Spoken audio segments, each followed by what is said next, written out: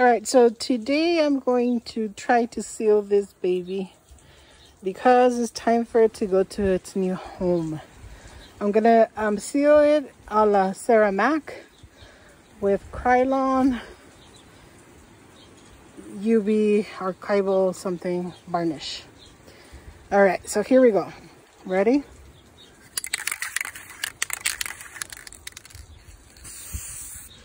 Oh no, today is not a good day. Too much wind.